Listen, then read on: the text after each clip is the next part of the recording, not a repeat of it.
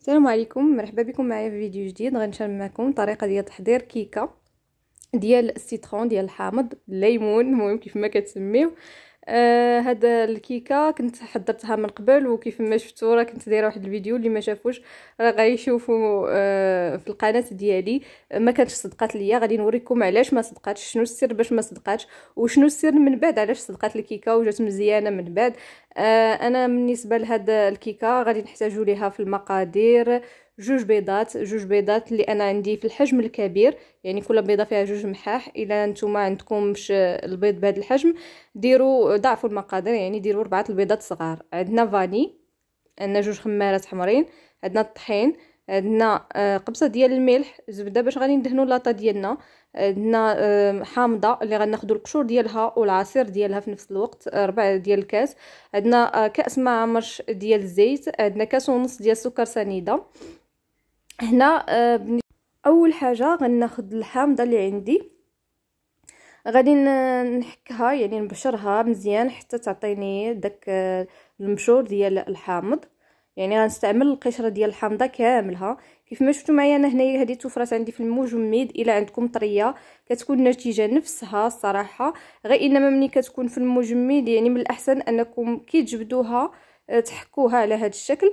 إلا كانت مشات تطلقات يعني كتعذبكم شوية يعني أنا غادي نستمر هكا بهذه الطريقة حتى ناخذ القشور ديال الحامض كاملو يعني نبشرها مزيان حتى نحصل على القشرة ديال الحامضة كاملة.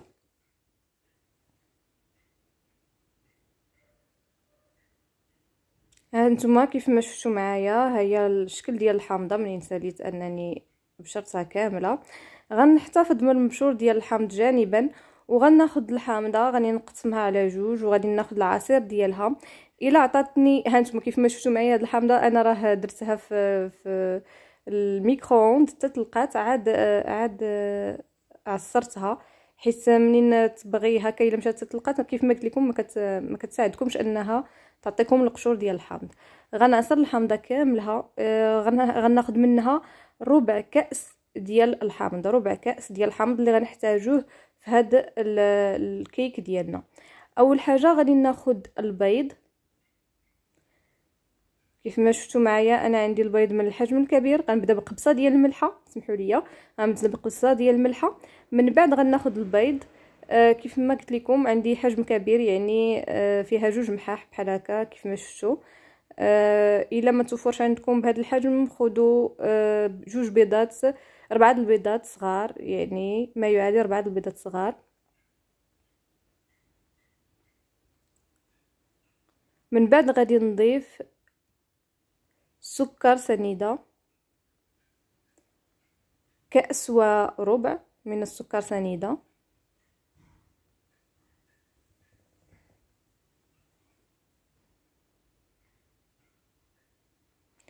أنا استعملت كأس العنبة إلا توفر عندكم مرحبا إلا ما توفرش يعني استعملوا كأس من نفس الحجم.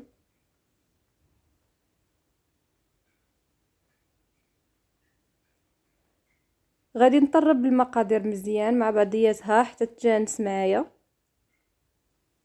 بالطراب الكهربائي يمكن لكم تستحملوا حتى الطراب العادي. انما الطراب الكهربائي كيسهل عليكم العملية يعني وكيوفر عليكم الوقت.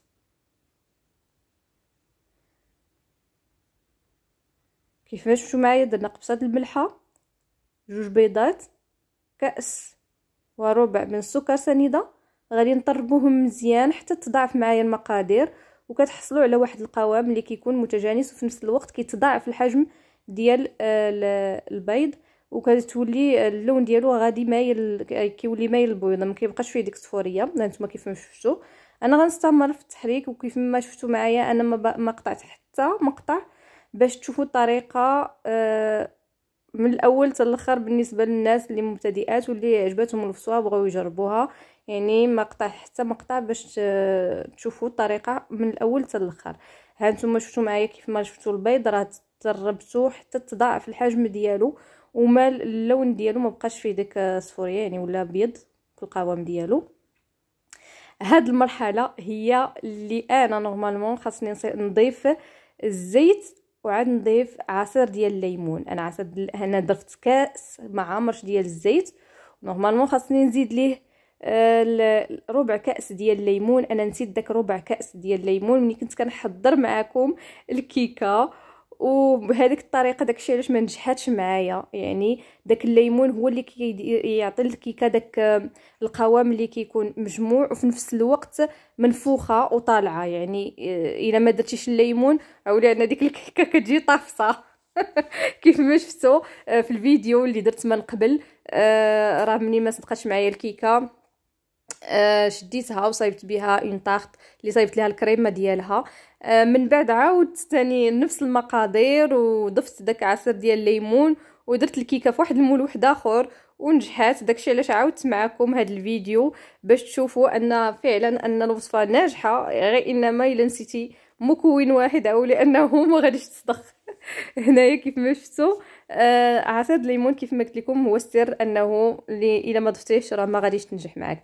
درت النصف ديال الكمية ديال المبشور ديال الحامض في في البيض اللي طربت وداكشي في المقادير. وبالنسبة للنصف الكمية الآخر غادي نضيف ليه آه سكر فاني. سكر فاني وغادي نخلطو معاه جيدا. وغادي نحتاجو أنني غادي نديرو في الطاوة ديالي. آه كيف ما شفتوا ضفت السكر فاني مع مبشور ديال الحامض اللي نصف الكمية ديال مبشور الحامض. كنخلطهم مزيان هكا حتى كيتجانسوا مع بعضياتكم. اللي ما توفرش عندكم سكر فاني يمكن لكم تستعملوا سكر سنيدة بحال بحال كيعطي نفس النتيجة. غادي ناخذ الطاوة زعما المول اللي غادي ندير فيه الكيك ديالي. كندهنو بالزبدة كيف شوف معايا. وغادي ناخذ داك السكر سنيدة مع قشور ديال الحامض وغادي نوزعهم في المول حتى ي... حتى بحال قلتي كان كنوزعوهم على المول كامل يعني. هاد بهاد الطريقة كيعطيك ديك القرمشة الخارجية ديال الكيك اللي كيكون مقرمش من الخارج وكيجي فيه واحد المذاق زوين من من ديال الليمون. هانتوما كيف ما شفتوا غنوزع داك الليمون حتى كيلصق كله على على الجوانب ديال المول ديالي. وأنا كيف ما قلت لكم إلا كان عندكم الحامض طري آه كيكون ناشف. أما اللي كيكون هكا ديال الكونجيلاتور كيبقى فازك شوية ما كيلصقش على المول. يعني باش ما استعملتو الحامض طري باش ما مزيان. آه غادي نضيف آه جوج كيسان ديال العنبة ديال الطحين عامرين مزيان حتى الآخر ديالهم. آه بطبيعة الحال كنت مغربلاهم من قبل. غادي نضيف الكمية تدريجيا وأنا كان كنطرب المقادير وغادي نضيف الخمارات. كيف ما شفتوا معايا خمارات حمرين جوج كيس كيوسة ديال ديال الخمارات. خميرة كيميائية. غادي نضيفها لداك الطحين وغادي نغربلهم حيت أنا ما غربلتهمش من قبل غربتهم معكم هنا. وغادي نطرب حتى تجانس معايا العناصر كاملها. عندكم ديروا بحالي وتنساو عصير الليمون. كيف ما شفتوا انايا قلت لكم في هذه الطريقة في هذا الفيديو آه الغلط اللي درت أنني ما ضفتش عصير ديال الليمون هذاك الشيء اللي عطاني أن الكيك ما تنفخش مزيان وما عطاش داك مبقاش ما كانش متماسك. يعني متماسك إيه ولكن إلى درجة ما. يعني جا ناشف جا جا بحال اش غنقول لكم بحال جينواز. غادي نطرب مزيان العناصر كاملها ومن بعد غادي نوضعها في المول آه، وغادي قبل غادي نشعل الفران على درجة حرارة آه، إلا كان عندكم فران البوطة كديروها مهيلة مزيان واذا كان عندكم فران ديال الضو كديروا 150 درجة ديال الحرارة. يعني آه، كتخليها طيب على خاطر خاطرها باش هكذا كتكون كيك هو ناجح معكم 100% كيف ما شفتوا معايا طربت حتى تدخل الطحين كامل والخميرة كيميائيه في العجين كامل يعني في ومن بعد غادي ناخذ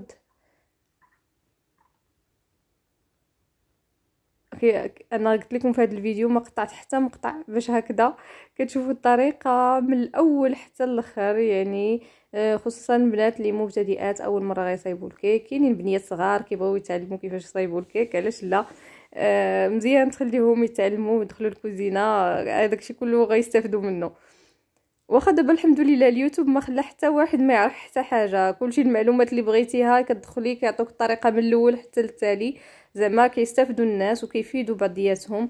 آه كانت ديك الساعة كتسولي شي وحدة كتبقى ما تعطيكش المقادير كاملين. ولا كتعطيك شي حاجة ناقصة. دابا الحمد لله كلشي من الأول حتى الآخر الطريقة غيتبعيها. وكتعطيك كيف ما شفتوا معايا. هذا هو الكيك اللي ما صدقش. ملي ما درتش ليه عصير الليمون. آه من بعد أنايا عاودت المق... عاودت جبت المقادير وعاودت نفس الطريقة اللي شفتو من قبل. أه وخديتها ودرتها في هذا الطاوال ديال الف... ديال الكيك اللي دهنتها بالزبدة والطحين. ومن بعد أنا ضفت ليها المبشور ديال الليمون ودرت الكيك صبيته فيها. من بعد منين طابت جات على هذا الشكل. هانتوما شتي الشكل ديالها آه، ناجحة مئة في المئة حيت فيها عصير الليمون من بعد أنا زينتها بال confiture ديال ال fraise والكوك. نتوما بغيتو تخليوها كيف ما هي مرحبا. بغيتو تزينوها بأي حاجة شوكولات آه، كريمة إلا بغيتو ديروا عليها من الفوق. يعني كيبقى التزيين اختياري ليكم. هنا غادي ناخذ ال confiture اللي صا... اللي كيف ما هي باقا سخونة يلا جبتها من الفران. كان كنصب الكونفيتور وكنوزعو عليها مزيان حتى كندهن الوجه ديالها كامل. كيف ما شفتوا معايا. ال confiture إلا كنتو عندكم هذا ديال سميتو كتجبدوه ومع هي كتكون سخونة دغيا كت دغيا كيذوب عليها يعني أنا من من من الثلاجه جبتو عادي يعني ما سخنتو ما حتى حاجة. غادي نوزع ال confiture على الوجه ديال الكيك ديالي كاملو. كيف ما شفتوا معايا. يعني كيبقى تزيين اختياري لكم نتوما اللي أي حاجة كتفضلوها يمكن لكم أنكم تزينوا بها الكيك ديالكم. من بعد غادي ناخذ الكوك. وغنزين به داك الوجه ديال الكيك ديالنا.